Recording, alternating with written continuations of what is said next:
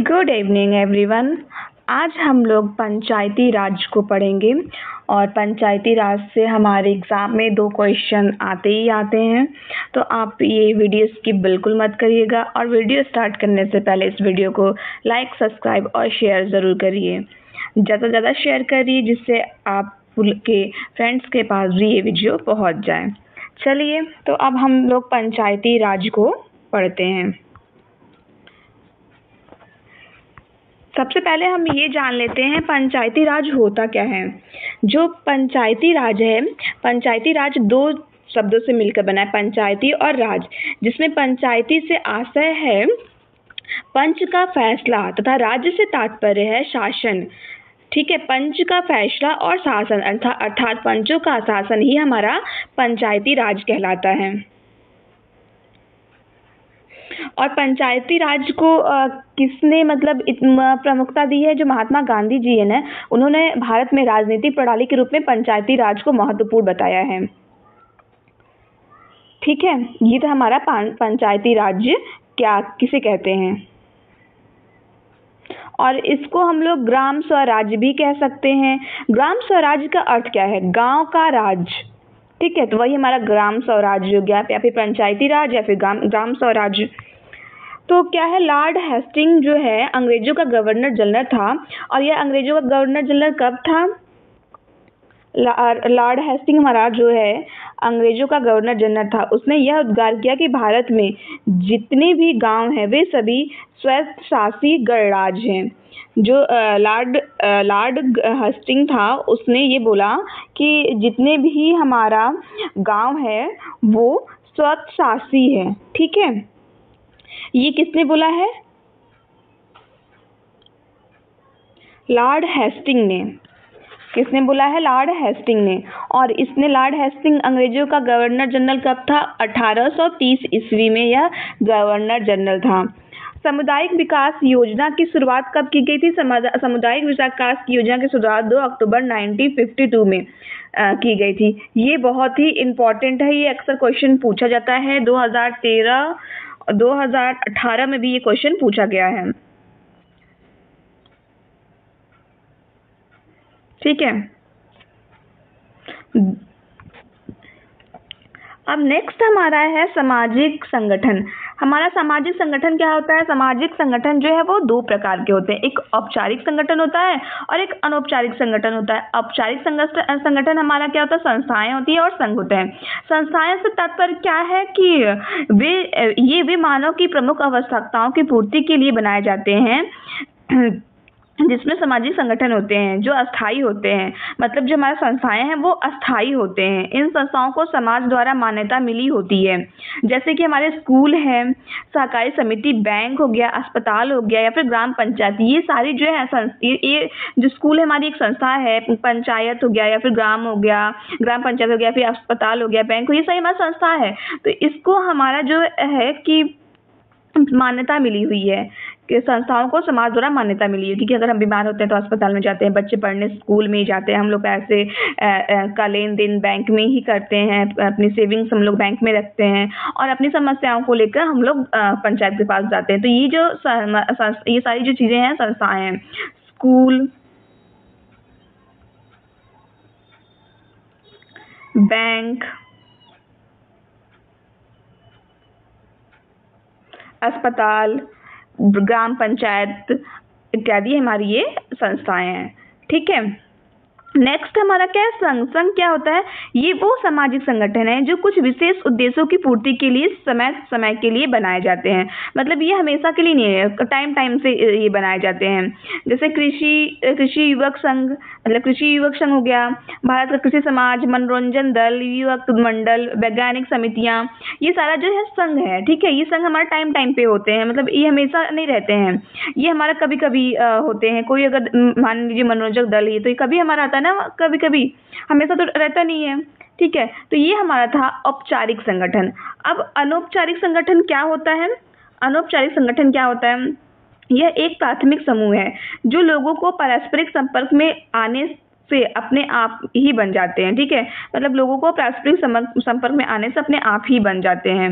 जैसे कि चौपाल समूह, कीर्तन समूह, साथी समूह, क्रीड़ा समूह मतलब खेलते वक्त जब बच्चे एक साथ मिल जाते हैं तो वो हमारा अनौपचारिक संगठन हो गया। साथी समूह, हम लोग दोस्तों के साथ मतलब बैठे हैं, वो हमारा साथी समूह हो गया। कीर्तन समूह, कीर्तन में बहुत सारे लोग होते हैं, कुछ अननोन लोग होते हैं, कुछ नोन लोग होते हैं, हम लोग साथ में बैठ के कीर्तन करते हैं तो वो हमारा हो गया अनौपचारिक समूह। चौपाल में मतलब अगर बैठे हैं, लोग अपने विचार शेयर कर रहे हैं, एक दूसरे से अपने फीलिंग शेयर कर रहे हैं तो हमारा चौपाल समूह हो गया, ठीक है? तो ये जो आपस में हम लोग बैठ के मतलब कुछ लोग बैठते हैं, कुछ समूह बना लेते हैं, या फिर साथ में खेलते हैं, या फिर घूमने जाते हैं तो वो हमारा अनौपचारिक समूह हो गया।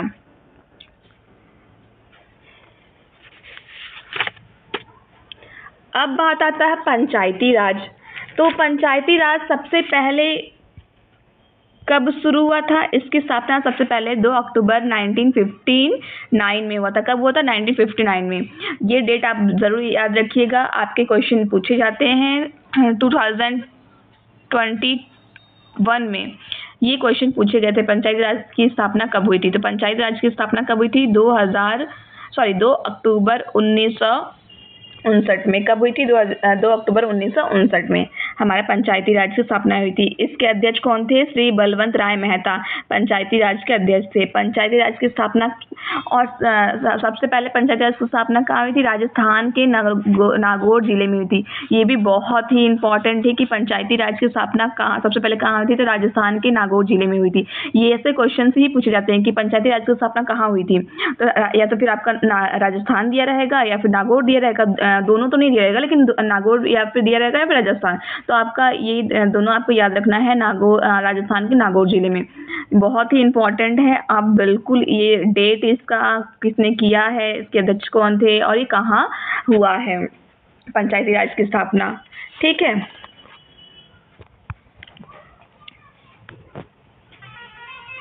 जो पंचायती राज राज है हमारा।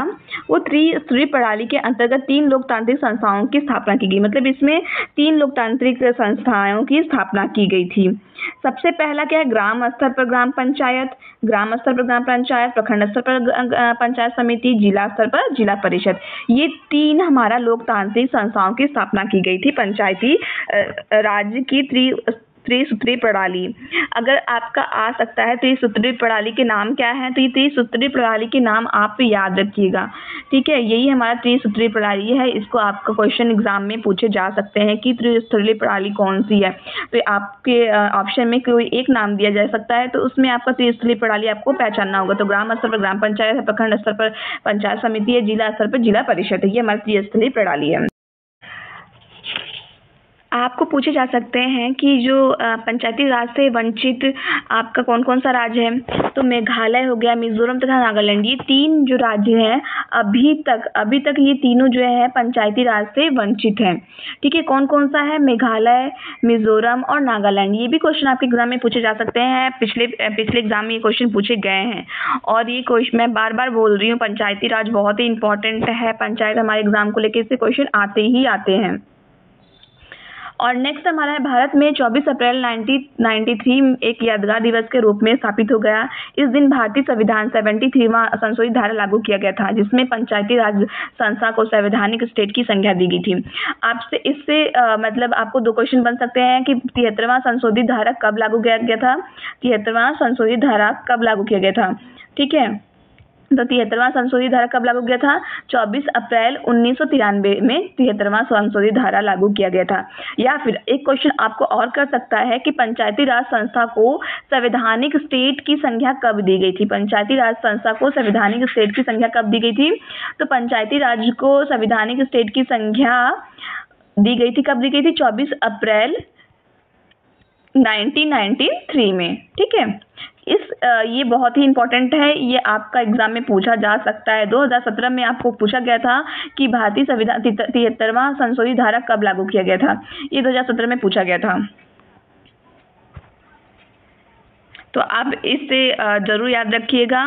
ठीक है नेक्स्ट हमारा है पंचायती राज की त्रिस्तरीय प्रणाली। ठीक है, सबसे पहला क्या था? ग्राम स्तर पर ग्राम पंचायत। सब त्रिस्तरीय प्रणाली में सबसे पहले हमारा ग्राम स्तर पर ग्राम पंचायत है। ठीक है यह जो है यह जो है, हमारा पंचायती राज की त्रि त्रि सूत्री व्यवस्था की पहली संस्था है जो ग्राम स्तर पर काम कार्य करती है। सबसे पहली अवस्था कौन सी है? ग्राम स्तर पर ग्राम पंचायत और यह गाँव गाँव पे मतलब ग्राम स्तर पर कार्य करती है। इसमें ग्राम पंचायत की मुखिया को ही हम लोग प्रधान कहते हैं। जब ग्राम पंचायत की जो मुखिया होता है, उसको ही प्रधान कहेंगे और ग्राम के पंचायत के सदस्यों की संख्या, ग्राम की जनसंख्या के आधार पर निर्धारित। उसमें कितने मतलब उस पंचायत समिति में कितने सदस्य होंगे, वो हमारा ग्राम की जितनी संख्या होगी उसके आधार पर निर्धारित होती है। प्रशासनिक अधिकारी के रूप में बी होते हैं, जिन्हें हम विकास अधिकारी भी कहते हैं। BLW को हम लोग विकास अधिकारी कहते हैं और ये कब क्या होता है? ये प्रशासनिक अधिकारी के रूप में नियुक्त किए जाते हैं। प्रखंड स्तर पर समिति, पंचायत समिति, ठीक है? दूसरा हमारा क्या है? प्रखंड स्तर पर पंचायत समिति। इसमें है तहसील, तालुका या फिर प्रखंड स्तर पर पंचायत समिति की स्थापना की गई। और इसको हम लोग विकास खंड भी कहते हैं। इसको विकास खंड के नाम से भी जाना जाता है। विका खंड विकास अधिकारी को वीडियो पंचायत समिति के अध्यक्ष होता है। जो विकास खंड के अधिकारी होते हैं, वो वीडियो पंचायत समिति के अध्यक्ष होते हैं। ठीक है, पंचायत समिति के सदस्यों का चुनाव पाँच वर्षों के लिए होता है। अध्यक्ष अथवा प्रखंड प्रमुख इसका अध्यक्ष होता है। ठीक है? नेक्स्ट हमारा क्या है? जिला स्तर पर जिला परिषद। ये हमारा आ, क्या कहते हैं सबसे लास्ट है। जिला स्तर पर जिला परिषद का गठन किया जाता है। यह पंचायत राज की त्रिसूत्री प्रणाली की अंतम अंतिम और उच्च संस्था है जो जिला स्तर पर कार्य करती है जो हमारा है सबसे अंतिम है और जो जिला स्तर पर कार्य करती है ठीक है? केवल जो आसाम में इसे हम लोग जो हमारा आसाम है उस इसमें यहाँ पे उबा प्रभागीय स्तर पर स्थित है और और सभी यह, यह उच्च स्तर पर पंचायत की त्रिवस्ती पे जिला परिषद के रूप में है ठीक है? इसे जिला पंचायत कहते हैं और सभी जगह इसको जिला पंचायत कहते हैं। और इसमें क्या है तो जिला पंचायत में पाँच, पचास हज़ार की आबादी पर जिला पंचायत सदस्यों के चुना जाता है, ठीक है? और ये जो जिला स्तर पर जिला परिषद है ये जनता के मतदान मतदान के द्वारा चुना जाता है, ठीक है? जिला परिषद का जो अध्यक्ष होता है, वो जिलाधीश या फिर जिला मजिस्ट्रेट कहलाता है, ठीक है? क्या कहते हैं इसको? जिलाधीश या जिला मजिस्ट्रेट, ठीक है?